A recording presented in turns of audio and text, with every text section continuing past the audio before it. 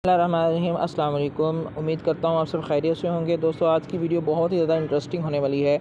आज की इस वीडियो में हम ऐसे अल्फाज के मानी जानेंगे जो अल्फाज बहुत ही ज़्यादा इस्तेमाल होते हैं। और ख़ास कर एन टी एस और एम डी कैट के स्टूडेंट्स के लिए ये वीडियो बहुत ही ज़्यादा यूज़फुल रहेगी। तो इस वीडियो को एंड तक लाजमी देखिएगा। तो हमारे पास जो पहला लफ्ज़ है, जिसका हम मानी जानेंगे, वो है एनिग्मा एनिग्मा का क्या मतलब होता है? एनिग्मा का मतलब होता है मिस्ट्री पज़ल ऐसी चीज़ जो सोल्व ना हो सके, हल ना हो सके, हम उसे कहते हैं मिस्ट्री यानी आपकी सोच से बिल्कुल परे हम उसको मिस्ट्री कहते हैं या पज़ल जो होती है, जैसे हम पज़ल एक गेम भी खेलते हैं तो उसमें कह सकते हैं कि ये पज़ल है। अनिगमा का मतलब ऐसी चीज़ जो हल ना हो सके। दूसरा लफ्ज़ हमारे पास है फ्लिपेंट फ्लिपेंट इसका मतलब होता है रूड सुपरफिशियल सुपरफिशियल ऐसी चीज़ होती है जिसको हम कहते हैं बनावटी, या जो बिल्कुल इखलाकी लिहाज से कम तर हो, उसको हम सुपरफिशियल या फ्लिपेंट कह सकते हैं। ठीक है जी? इससे अब तीसरे लफ्ज़ की तरफ़ बढ़ते हैं एग्जैजरबेट ठीक है? एग्जैजरबेट कहते हैं, यानी इन्फ्यूरिएट या मेक वर्स बहुत ही बुरा इन्फ्यूरिएट बहुत ही ज़्यादा बुरा। या इन्फ्यूरिएट वैसे कहते हैं, आग बगोला होना, शदीद गुस्से में आना। तो इसी तरह हम अगर कहें ना मेक वर्स यानी बहुत ही ज़्यादा बुरा बना देना।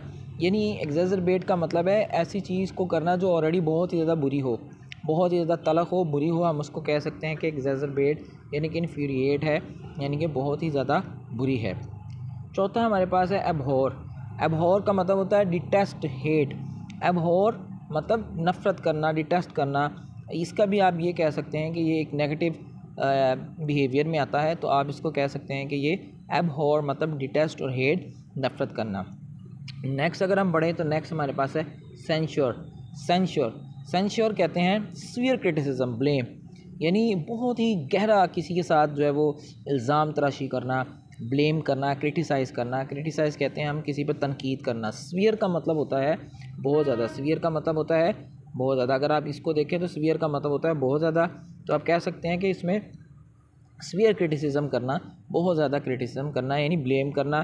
तो ये हमारे पास टोटल पहले पाँच हमने किए हैं एनिग्मा मिस्ट्री होता है flip and root superficial exacerbate कहते हैं इन्फ्यूरिएट गुस्सा करना मेक वर्ड्स या बहुत बुरा बनाना, इसी तरह एबहॉर डिटेस्ट हेट यानी कि नफ़रत सेंश्योर यानी कि स्वियर क्रिटिसिज्म बहुत ज़्यादा तनकीद का निशाना बनाना या ब्लेम करना, ठीक है जी? अब बढ़ते हैं नेक्स्ट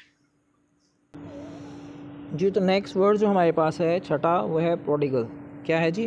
प्रोडिगल प्रोडिगल मतलब जी तो नेक्स्ट वर्ड हमारे पास छठे वाला है, वो है प्रोडिगल प्रोडिगल का मतलब जो है, वो सबसे पहले एक मतलब की तरफ़ अगर हम देखें तो डिसिपेटेड डिसिपेटेड का मतलब होता है मुंतशिर, यानी बिखरा हुआ, फैला हुआ डिसिपेटेड जिसको आप बिखेर दें, उसको हम कहते हैं डिसिपेटेड फिर दूसरा इसका जो मतलब है, वो है एक्सेसिव एक्सेसिव कहते हैं बहुत ज़्यादा. यानी किसी एक चीज़ से, एक मकदार से चीज़ बढ़ जाए तो हम कहते हैं एक्सेसिव ठीक है? ज़्यादा बढ़ने वाली। इसका एक और मतलब अगर हम उसकी तरफ़ तवज्जो डालें तो एक्स्ट्रा वेगेंट एक्स्ट्रा वेगेंट का मतलब होता है ज़्यादा खर्च करने वाला या ज़्यादा खर्च। यानी कि अगर कोई बहुत ज़्यादा फजूल खर्च है, उसकी क्वालिटी है ज़्यादा खर्च करना बग़ैर किसी मकसद के तो हम उसको एक्स्ट्रा वेगेंट कह सकते हैं।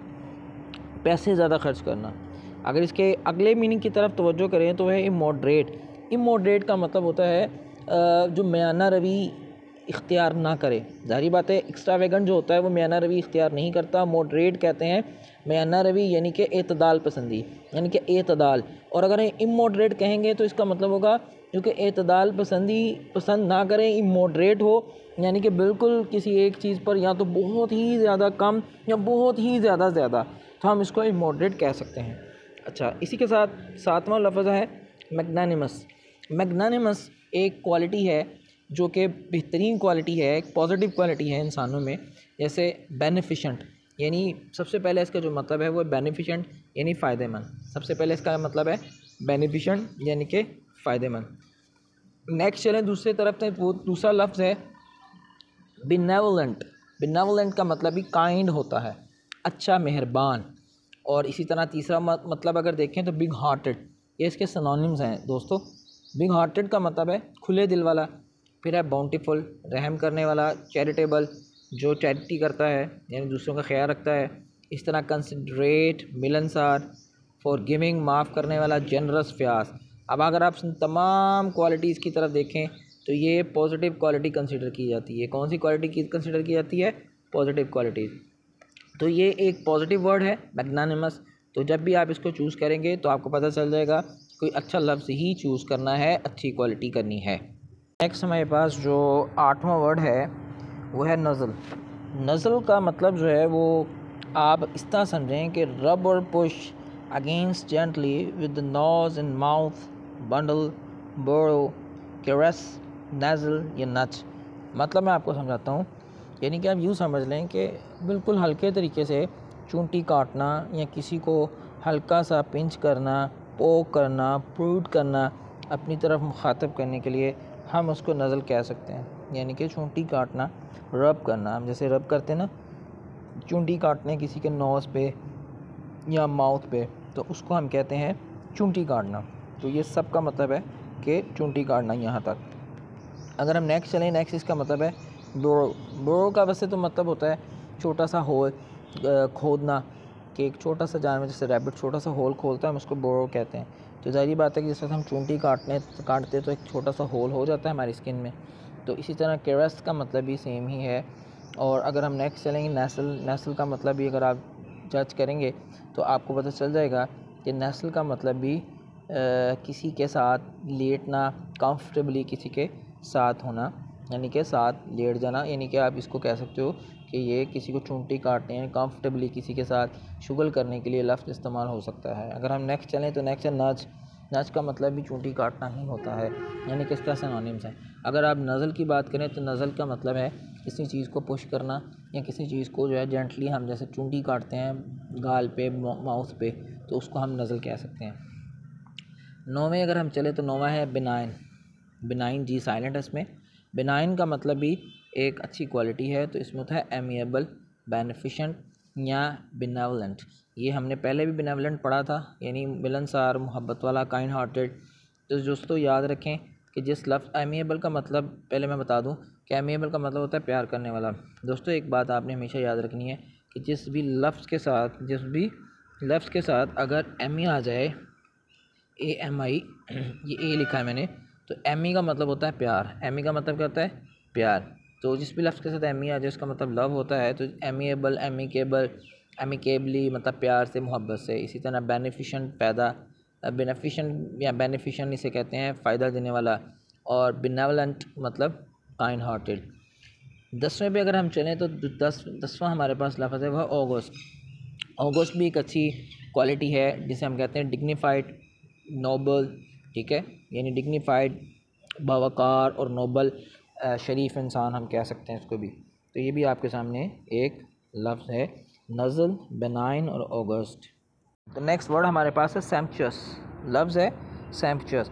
सैम्पचस का मतलब होता है लग्जूरियस, पुरताइश, स्प्लेंडेड, यानी अयाश वाली पुरताइश, जो कि आपकी बेज़रूरियात से ज़्यादा हो, ओमेन शो वाली हो, हम उसे कहते हैं। सैम्पचस, लाइफ या सैम्पचस आप कह सकते हैं पुरताइश अयाश। इसी तरह हम लग्जूरियस पुरतायुश और अयाश को कहते हैं, ये इसका सनोनिम है, यानी इसका मतलब है। तो जब भी सैम्पचुअस लफ्ज़ आएगा तो याद रखिएगा, लग्जूरियस उसका जो है वो, हम लग्जूरियस उसका सिनोनिम लेंगे और इसका मतलब होता है कि पुरतायुश नेक्स्ट लफ्ज़ हमारे पास है बारवा ब्लैमिश ब्लैमिश का मतलब होता है, ये खूबसूरती से रिलेट करता है फ़्लो फ़्लो का मतलब होता है, यानी आपके जिसम पे या आपके चेहरे पे ऐसा कोई दाग है या ऐसा कोई मॉल जिसे हम तिल कहते हैं, जिससे आपकी खूबसूरती बढ़ रही है, खूबसूरत आप मज़ीद नज़र आ रहे हैं तो हम उसको फ्लॉ कहते हैं। जैसे कि ये लिखा हुआ ना, ब्यूटी स्पॉट। यानी ब्यूटी स्पॉट आपके जिसम पे अगर कोई ऐसी जगह है जो जिससे खूबसूरती बढ़ रही है तो हम उसे ब्यूटी स्पॉट कहते हैं। ब्लैमिश मतलब ऐसी जगह या ऐसा निशान जिससे आपकी खूबसूरती बढ़े। नेक्स्ट है फुलमिनेट। तेरहवा हमारे पास फुलमिनेट है। फुलमिनेट एक नेगेटिव वर्ड है, जिसका मतलब है क्रिटिसाइज हार्शली यानी क्रिटिसाइज मतलब तनकीद हार्शली बहुत स्वियरली बहुत सख्ती से, यानी बहुत सख्ती से क्रिटिसाइज़ करना। किसी को बहुत ही सख्ती से उसका, उसको तनकीद का निशाना बनाना, हम उसको फुलमिनेट कह सकते हैं, जैसे डिनाउंस डी डिनाउंस का मतलब होता है रद्द कर देना। डिनाउंस का मतलब होता है रद्द कर देना। तो फुलमिनेट क्रिटिसाइज हार्शली यानी रद्द करना या बहुत ही ज़्यादा तनकीद का निशाना बनाना। नेक्स्ट अगर हम पढ़ें तो नेक्स्ट हमारे पास वर्ड जो है, चौदवा वो है एनालगस अगर एनालगस का मतलब होता है एकिन अलाई कंपेरेबल कॉन्सोनेंट यानी कि एनालगस उस जैसा, उस तरह का पैरेलल एनालगस उस जैसा, उस तरह का पैरेलल जैसे एकिन का मतलब अलाइक का मतलब ये होता है कि अलाइक यानी वो एक तरह है। किसी चीज़ को हम किसी से कंपेयर करते हैं तो हम कहते हैं एक जैसे हैं तो हम उसे एनालगस कह सकते हैं। इस तरह कंपेरेबल यानी जो एक दूसरे के साथ कंपेयर किए जा सकें जो एक दूसरे के साथ कंपेयर किए जा सकें। तो इसी तरह अगर इसका नेक्स्ट है वो है कॉन्सोनेंट कॉन्सोनेंट का मतलब है जो एग्री हो सके यानी कि किसी के साथ आ, उसकी जो है वो सेटिंग बैठ जाए जैसे कि कंपेयरेबल या एक दूसरे के साथ पैरेलल होने का मतलब में भी आता है एनालगस नेक्स्ट हमारे पास पंद्रहवा लफ्ज़ है वो है स्लगिश स्लगिश का मतलब होता है डल स्लो बहुत ज़्यादा स्लो मूविंग ठीक है? स्लगिश इंतहा का स्लो बहुत वेरी स्लो को हम कहते हैं स्लगिश फिर नेक्स्ट अगर हम चलें अपोर्शन अपोर्शन का मतलब होता है डिवाइड इनटू शेयर्स जी तो अपोर्शन की बात हो रही थी अपोर्शन डिवाइड इनटू शेयर्स यानी किसी चीज़ को जैसे हम कहते हैं ना, ये मेरा पोर्शन है, यानी ये डिवाइड किया हुआ हिस्सा मेरा है तो इसी हम कह सकते हैं डिवाइड इनटू शेयर्स यानी कि किसी चीज़ को दो हिस्सों में तकसीम कर देना एकॉर्ड कर देना, या एडमयर कर देना, या एडमिनिस्टर कर देना, किसी के एड यानी कि आप कह सकते हो कि किसी के ज़िम्मे लगा देना एलोकेट कर देना, किसी को बता देना कि यार ये बात अब तुम्हारे शेयर में आएगी एलोकेट हो जाएगी। इसी तरह अलॉट कर देना किसी चीज़ को, जैसे ज़मीन अलॉट की जाती है, या असाइन कर देना, जैसे हम फला चीज़ तुम्हें असाइन कर दी, अब तुम्हारी हुई, यानी हमने शेयर में इसको डिवाइड कर दिया, हम उसे कहते हैं अपोर्शन नेक्स्ट अगर हम बढ़ें तो नेक्स्ट हमारे पास है जी विवेशियस। विवेशियस एक बहुत ही ज़बरदस्त लफ्ज़ है। विवेशियस का मतलब होता है लाइवली या स्पिरिटेड लाइवली पुरजोश स्पिरिटेड पुरजोश। यानी विवेशियस का मतलब होता है पुरजोश। विवेशियस पुरजोश को हम कहते हैं, ये एक अच्छी क्वालिटी है।